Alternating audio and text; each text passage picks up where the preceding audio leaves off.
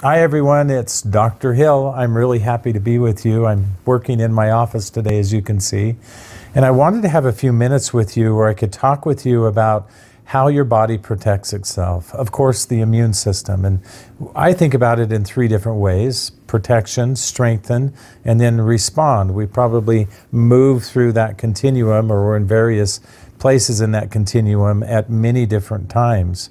And I've also thought about how does the body protect itself by the barriers that we have. And so I think about internal environments of immunity, and I think about external environments of immunity. And internally, if we look at it that way, it's pretty easy to understand. We have mucus layers that offer protection for us. We have stomach acid that offers protection for us.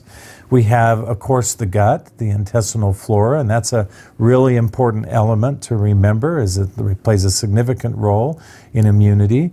We also have specialized cells within the body. So we have immune cells. There's B cells and T cells and killer cells and all kinds of different things. We could get into more detail than we need to. And then lastly, we of course have the lymphatic system, which also acts as a part of your internal environment for helping to protect the body. And then we have the external environment. And the external environment is also really easy to understand in that we have the integumentary system. Now, the integumentary system is made up primarily of three things hair, so we think about hair and not necessarily hair on our head, but we have hair, for example, in our nasal passage. And this acts as another barrier when we have organisms that might be in the air that we breathe. It acts as another barrier to prevent them from entering into the body. And then, of course, we have skin and we have nails. All of that is acting as a specific barrier. And so that leads us to a natural question how do we challenge both the internal and the external environments of our body's protective systems?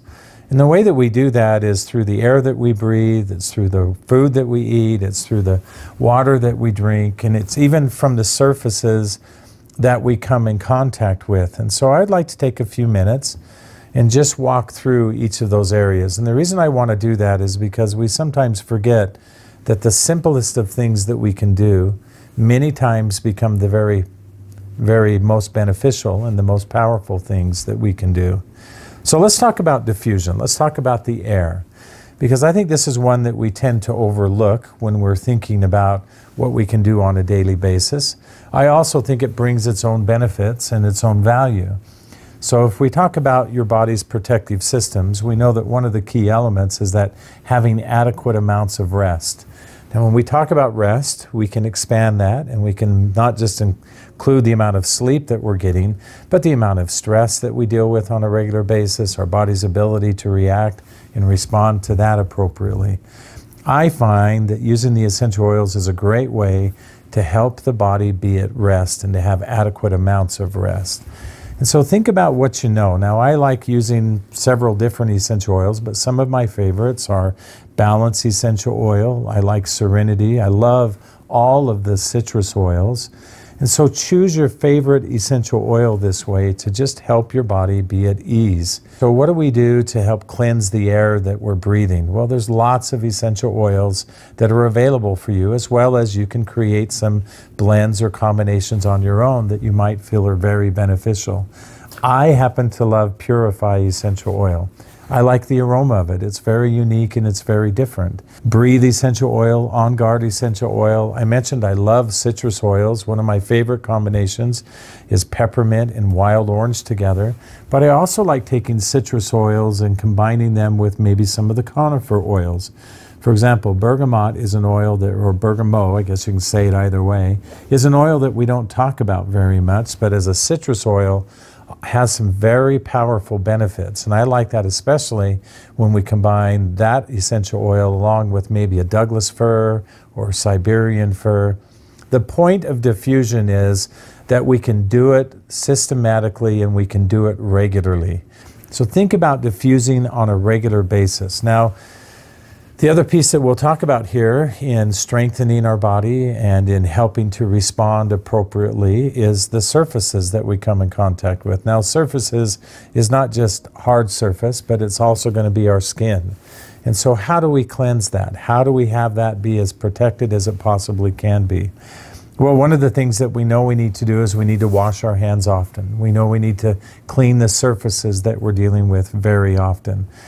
I like the On Guard products. I think they're some of the best things that we can possibly do and using them once again consistently. Now, I like this also because this is a way that you can have some DIY opportunities. So maybe we take a little bit of vinegar and we mix with that some citrus oils or eucalyptus, or maybe it's peppermint. Maybe it's wild orange and peppermint and using that as a surface cleaner. So find some ways that you can do that. Even hand sanitizers become really important on a daily basis for just personal hygiene and keeping our skin as clean as it can be. So I know that we have On Guard hand sanitizer, but you can also make your own if you choose to. And then, of course, wash your hands.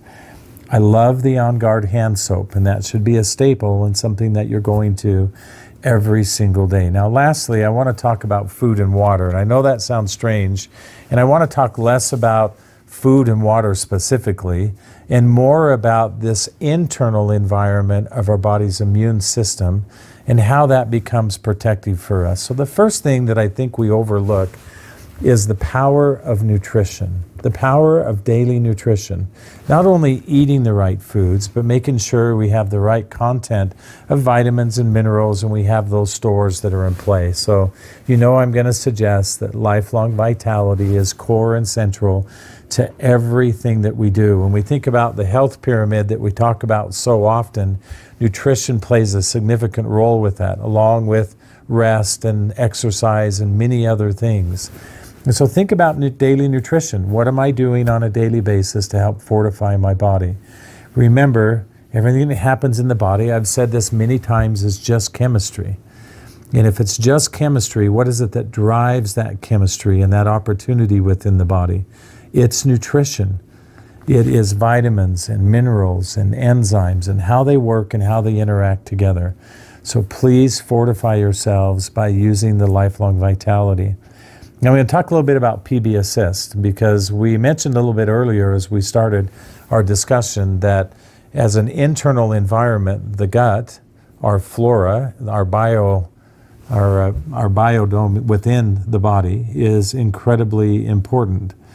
And one of the areas that we most challenge, and it's because of the environments that we live in, both in what we're bringing into our body and the external environment that we have, it's also one of the most challenged. I want you to start thinking about the gut flora as more than just its relationship as a barrier for foods and other things that we might ingest.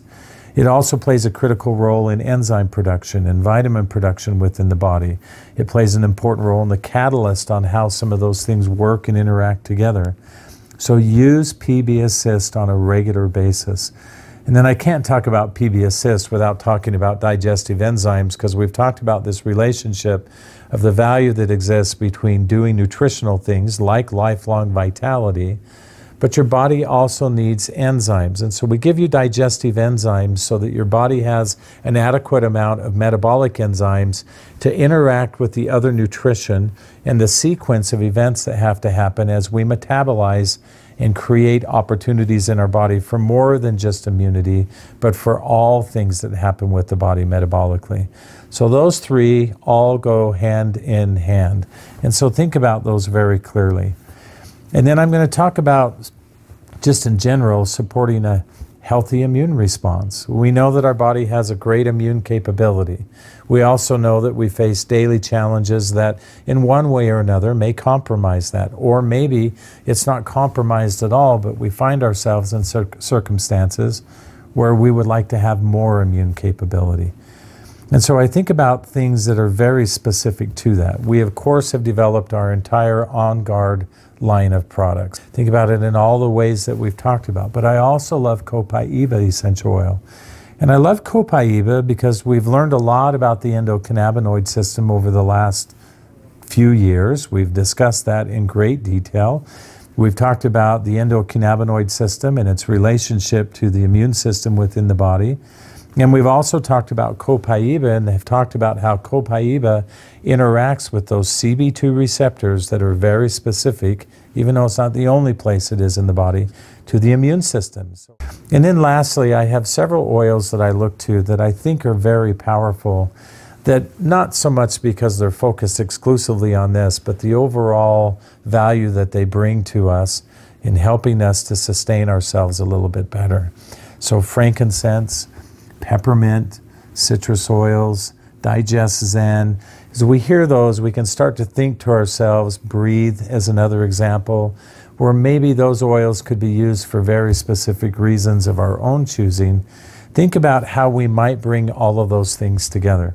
Our greatest desire is not just to share with you the opportunity to have essential oils, but to educate you about them I'd like to give you a gentle reminder that some of the most powerful things that we can do are some of the most simple things that we have opportunity for. Learning how to use these essential oils in the very basic ways that we've talked about and using them routinely, I believe will be a great benefit to you and your family. I wish you all the very best. I hope to see you all very, very soon. Wellness and happiness